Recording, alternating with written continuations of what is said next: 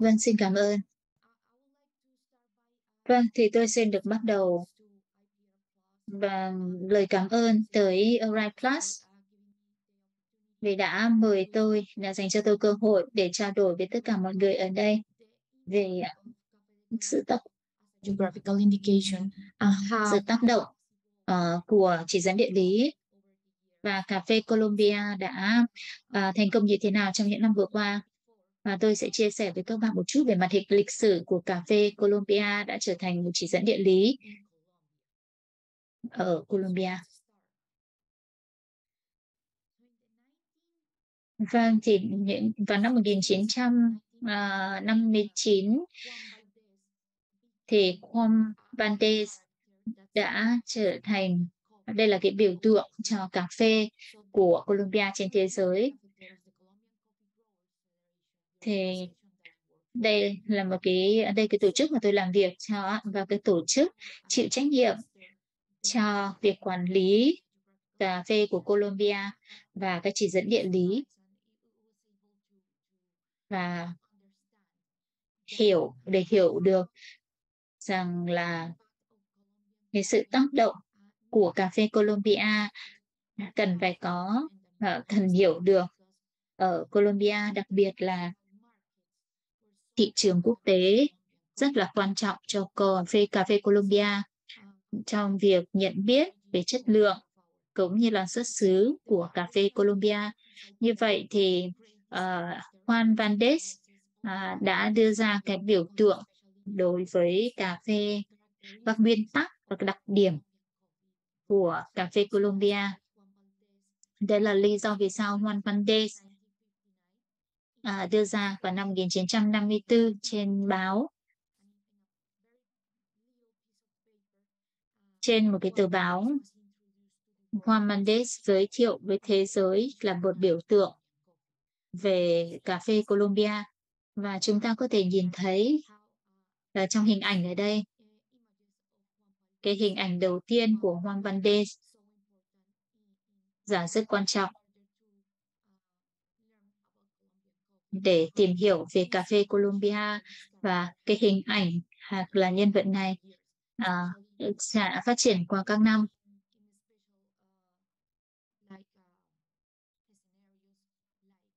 Hoặc là trong các tình huống đặc biệt như là trong phim ảnh. Không biết là các bạn đã xem cái phim này hay chưa? Vào năm 2000. Thì đây là ảnh của bộ phim đấy. Khi mà anh ta đưa cái nhân vật chính đưa ra một tách cà phê Colombia và thời điểm đó thì nó đã bắt đầu nổi tiếng trên thế giới. Juan Mande đã nhấn mạnh tầm quan trọng trên thế giới. Hiện nay, Juan Mande là nhãn hiệu để thể hiện rằng là cái tầm quan trọng để mà trở thành uh, những cái gì mà có thành công ngày nay.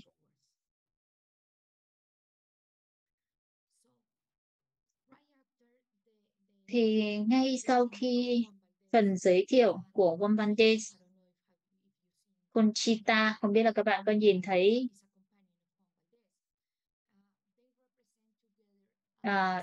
nó đại diện cái biểu tượng của cà phê Colombia thì ngay sau khi Juan Valdez được đưa ra,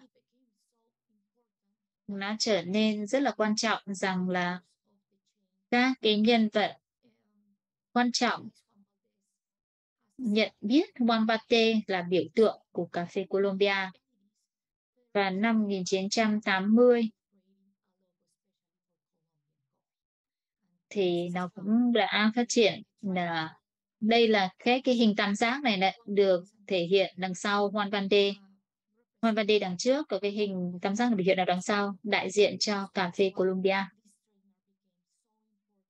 Và cái nhãn hiệu này nó trở nên rất là quan trọng để thể hiện về cái xuất xứ. Đấy là 100% cà phê Colombia là được thực hiện vào năm 1980 đại diện cho cà phê Colombia trên thị trường quốc tế. Thì là đã tạo ra một cái sự công nhận ở đây, nâng cao cái nhận biết của mọi người và phân biệt cà phê Colombia so với các cái loại cà phê blend khác. Thì cô à, cà phê Colombia ở đây à, không thể là pha trộn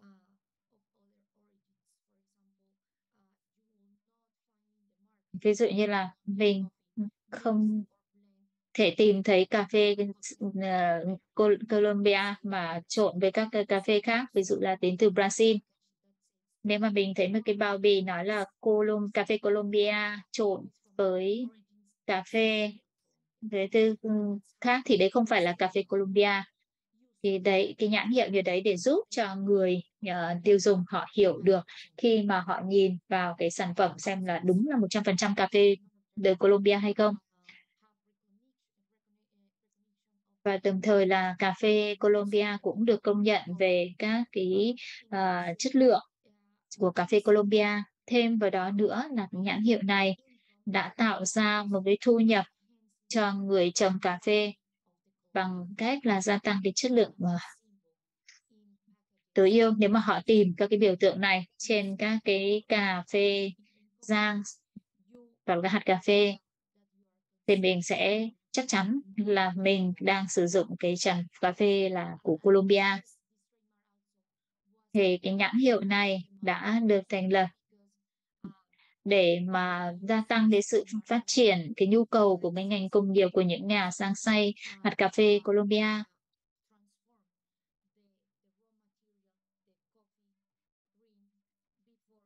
Để họ sang xay trước khi mà cà phê được xử lý để chuyển sang cà phê rang xay. Thì chúng tôi đảm bảo chắc chắn rằng là những nhà rang xay thì họ có các cái yêu cầu của cái vật liệu thô của họ để mà họ có thể sử dụng cho cà phê de Colombia và trên cái nhãn hiệu này trên bao bì và đồng thời cái nhãn hiệu này để củng cố lại được các cái à, nhóm người tiêu dùng trung thành và sẵn sàng uh, chọn cái cà phê 100% Colombia so với các loại cà phê khác. Như trong cái ví dụ mà tôi nói trước đó. Thì đấy là cà phê de Colombia là các cái sản phẩm 100% Colombia được cấp phép, trở nên rất là quan trọng. Và hiện nay được biết đến là cái cà phê origin ở trên thế giới. Nếu các bạn đã thử uống cà phê Colombia, thì các bạn sẽ thấy trên à, thị trường cái cà phê de Colombia, cái bao bì của cà phê này được ghi nhãn là cà phê origin gốc Thì tại sao chỉ dẫn địa lý cho cà phê Colombia? Thì như các bạn có thể nhìn thấy ở đây, lịch sử của cà phê Colombia đã phát triển với các đặc điểm cả trên nhãn hiệu và trong cả chỉ dẫn địa lý. Thì tại sao tại sao cà phê Colombia lại cần có chỉ dẫn địa lý để có thể bảo vệ cái nguồn gốc xuất xứ với cái sản phẩm nổi tiếng như vậy. Thì đó nó là một phần của các cái chiến lược uh, và các cái vị trí thương mại của cà lệ cà phê Colombia trên thị trường quốc tế. Và tôi đang đưa ra cái vị trí đặc biệt ở đây. Bởi vì như các bạn biết là cái giá tùy thuộc vào các khu vực khác nhau ở Colombia. Và Hiệp hội Cà phê Colombia họ nhận ra là chỉ dẫn địa lý cái cà phê Kiran sẽ có thêm các cái sự khác biệt mà nó sẽ cung cấp theo cái vị trí đặc biệt trên thị trường cà phê. Và đồng thời là đảm bảo danh tiếng của một cái sản phẩm mà đã đạt được uh,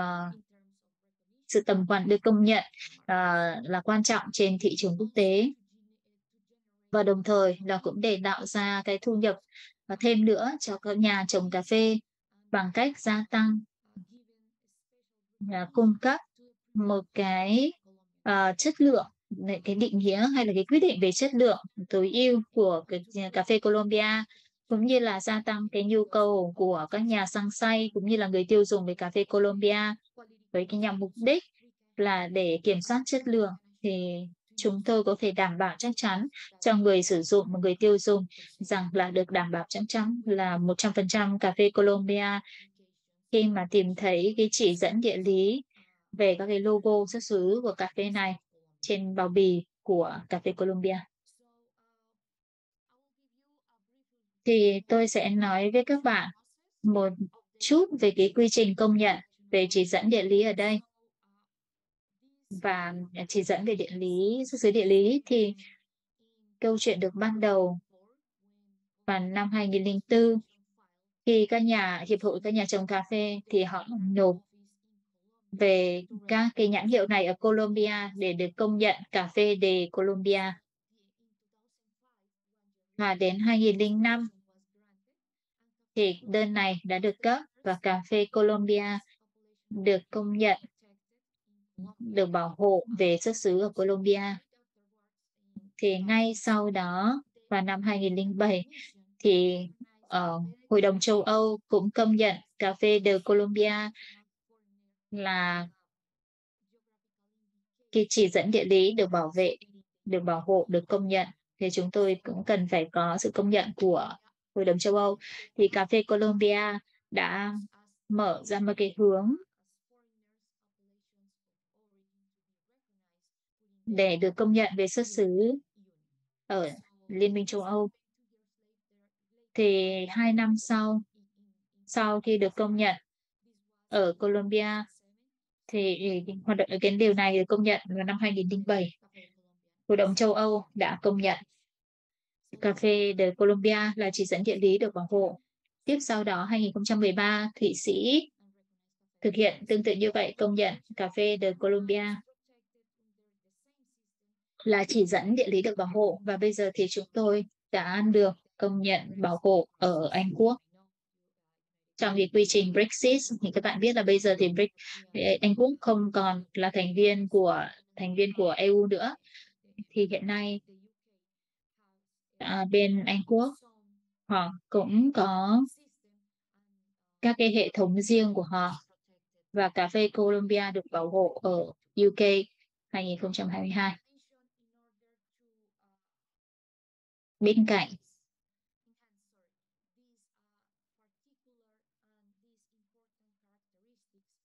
thì các cái đặc điểm quan trọng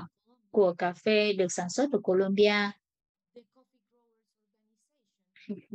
là cái hiệp hội về cái trường các nhà trồng cà phê à, đã được phát triển để cung cấp các cái hồ sơ về các nhà sản xuất cà phê ở các khu vực khác nhau Colombia. Đấy là cách thức mà chúng tôi có văn phòng uh, chỉ định về xuất xứ khu vực được bảo vệ ở trong cộng đồng, đặc biệt là ở Bolivia, Peru và Colombia. Và các cái khu vực này được bảo vệ về hệ thống xuất xứ của cà phê từ Cauca, cà phê Naurino, cà phê Huila, cà phê Santa De cà phê Sierra và cà phê Tolima. Đây là các cà phê có đặc điểm đặc biệt. Và bởi vì cái chất lượng cũng như là xuất xứ thì là được công nhận đặc biệt riêng ở Colombia. Hiện nay chúng tôi đang làm việc để có cùng sự công nhận ở châu Âu. Để có cùng với sự bảo hộ ở châu Âu. Như chúng tôi có ở trong cộng đồng. Như vậy thì cà phê Colombia uh, có tương tác như thế nào về các cái chỉ dẫn uh, địa lý ở đây. Vậy tại sao tổ chức này lại là tổ chức chịu trách nhiệm quản lý về các chỉ dẫn địa lý? Thì tổ chức của chúng tôi chịu trách nhiệm để mà sản lý quản lý thực hiện cái vấn đề giám sát kiểm soát việc sản các sản phẩm sử dụng cà phê de Colombia. Có lý do bởi vì là hiệp hội được thành lập vào năm 2007 là 100 nghìn 100 927 à, à, và uh, hiệp hội này đóng một vai trò rất là quan trọng trong lịch sử bởi vì là trong suốt những năm hoạt động trước năm 2005 và là trước năm 1959 khi mà Juan Valdez được tạo ra à, tổ chức này đã được thành lập và đã có các dự án riêng nhằm mục đích công nhận và bảo hộ các cái sản phẩm cà phê xuất xứ từ Colombia. Điều này rất là quan trọng bởi vì toàn bộ các cái dự án cũng như là các cái chiến lược công nhận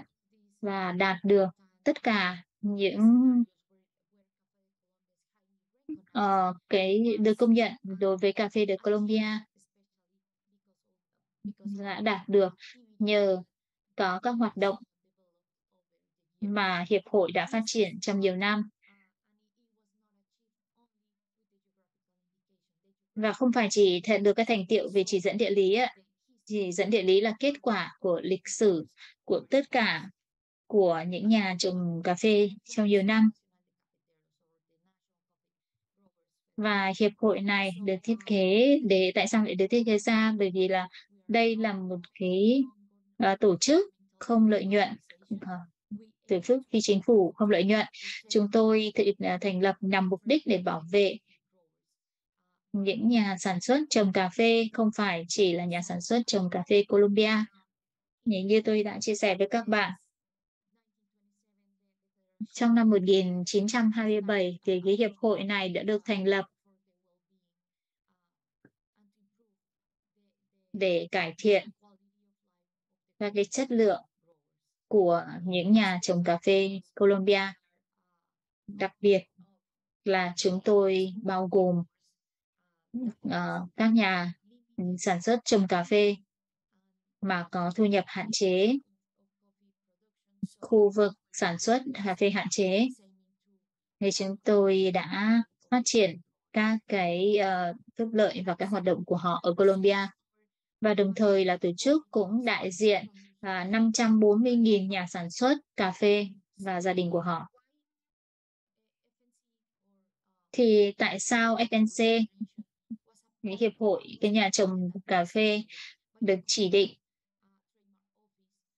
bởi văn phòng nhãn hiệu của Colombia và quản lý và chịu trách nhiệm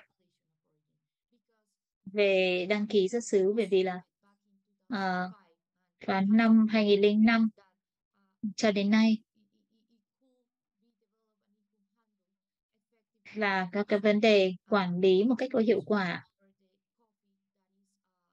về vấn đề cà phê trên thị trường.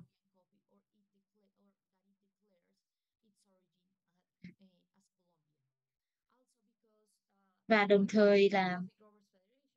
các nhà hiệp hội, các nhà trồng cà phê ở đây thì cũng có phát triển cái công cụ và kiến thức và khoa học kỹ thuật để họ xác định là cả loại cà phê 100% cà phê de Colombia và đồng thời là có cung cấp cái nguồn lực cũng như là các kiến thức uh, đã được phát triển trong nhiều năm cho cà phê Colombia và để có thể phát triển thực hiện được tất cả các hoạt động đặc biệt là trong cái hoạt động phát triển các cái um, tính năng mà có thể truy xuất nguồn gốc của cà phê Colombia. Thế thì các cái nhiệm vụ chính của hiệp hội cái nhà trồng cà phê Colombia là gì? Họ chịu trách nhiệm. Ờ, tổ chức này chịu trách nhiệm. Quản lý giám sát. Các chỉ dẫn địa lý. Chúng tôi có một số các cái hoạt động và cái nhiệm vụ chính mà chúng tôi thực hiện ở đây là chúng tôi uh, cấp quyền sử dụng. Thì như các bạn biết là cái chỉ dẫn địa lý thì là cần phải có các cái nguồn gốc xuất xứ.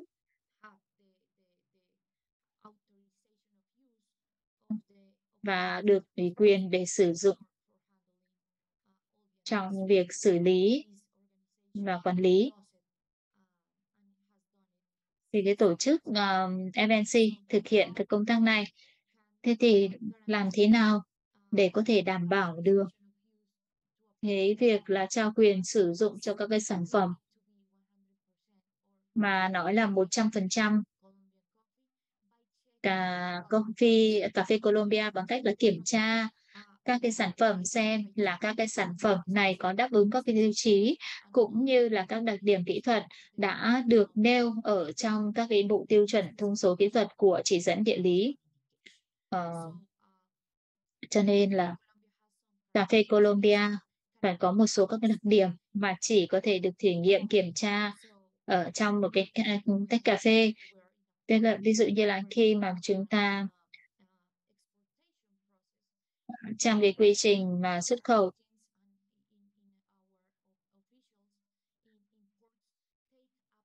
nhập khẩu thì cái nhà nhập khẩu lấy các mẫu của cà phê là cà phê thô. Và sau đó là họ làm tên cà phê và họ uống. Khi họ uống thì họ có thể biết xem là 100% à, coffee Colombia hay không.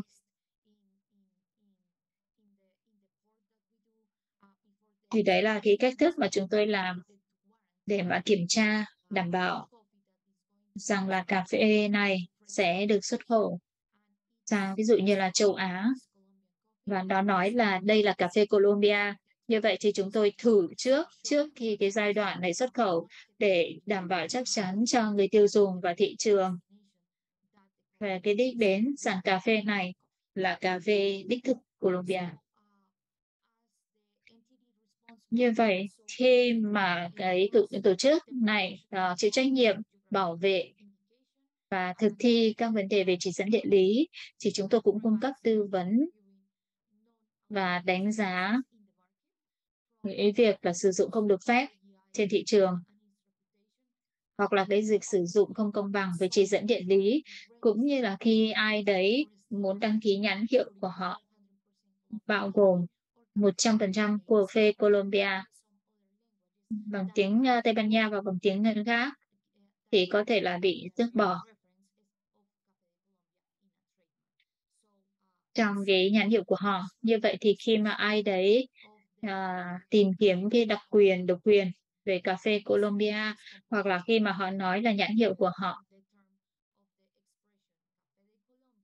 À, thể hiện trong hoặc là cái trong cái chữ viết thể hiện của họ là cà phê lên Colombia và là cung cấp các cái thông tin về chỉ dẫn xuất xứ. Thì chúng tôi thực thi các hoạt động bảo hộ về chỉ dẫn địa lý thông qua các hành động.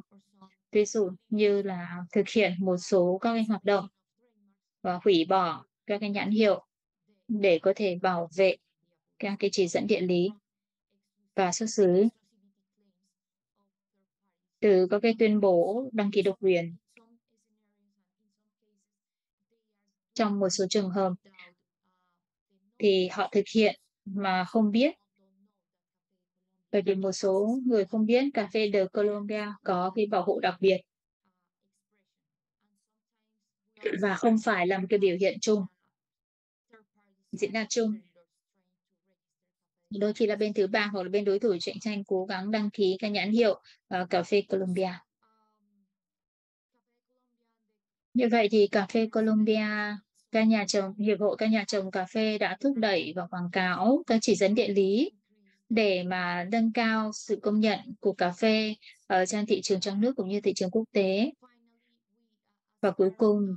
là chúng tôi có một cái trách nhiệm là nộp các báo cáo cho văn phòng uh, phụ trách về nhãn hiệu để cung cấp thông tin cho họ về cách mà chúng tôi hoạt động, cách mà chúng tôi thực hiện công tác, nhiệm ờ, thực hiện nhiệm vụ của mình. Vâng, cà phê Colombia có những thách thức